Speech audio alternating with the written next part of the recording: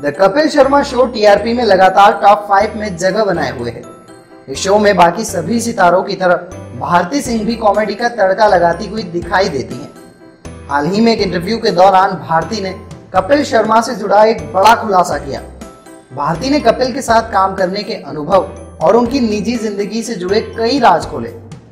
भारती ने एक निजी न्यूज़ चैनल को दिए इंटरव्यू में कहा, हर किसी को कठिन वक्त से गुजरना पड़ता है। खुश हूँ।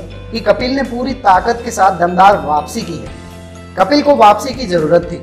उनके साथ शो में काम कर लोगों ने महँगी कारें और बड़े घर खरीद लिए हैं। शादी के बाद कपिल की ज़िंदगी में बहुत बदलाव आए हैं। कपिल पहले बहुत पार्टी करते थे, लेकिन अब उन्होंने यह सब करना बंद कर दिया है। शराब और सिगरेट भी छोड़ दी है। ज़्यादा समय परिवार को देते हैं। वह शूट करके 10 से साढ़े दस बजे तक घर के लिए निकल जाते हैं। इसके साथ ही भारती ने बताया कि गिन्नी प्रेग्नेंट होने के बाद भी शो की टीम का बहुत ख्याल रखती है। भारती ने कहा, गिन्नी बहुत ही प्यारी है।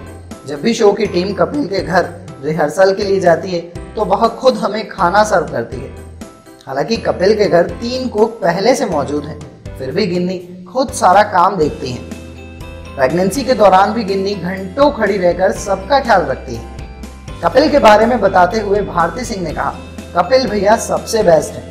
और भारती का कहना था कि कपिल शर्मा ने यह भी बताया कि यह समय उनके पूरे परिवार के लिए बहुत खास और भावनात्मक है। मेरा पूरा परिवार मेरे बच्चे का स्वागत करने के लिए ऐसा बेताब है। हम इतने एक्साइटेड हैं कि मैंने और गिन्नी ने अपने बच्चे के लिए छोटी छोटी चीज़ें खरीदना भी शुरू कर दी है। तो दोस्तों, फ़िलहाल के लिए इस वीडियो में इतना ही। बाकी टीवी और फिल्मी गलियारों से जुड़ी हुई लेटेस्ट गॉसिप्स जानने के लिए देखते रहें। फिल्मी पंचायत।